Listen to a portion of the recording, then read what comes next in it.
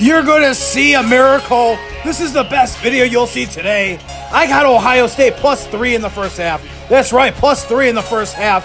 And here is what's happening right now. They're down by five. You need to see this miracle. This is going to be a miracle for me. And then I have Ohio State needs to make this, but they miss. That's not the miracle. Here comes Purdue. So Ohio State needs to stop and hits a three. And here's what's going to happen. This is going to be a miracle for me.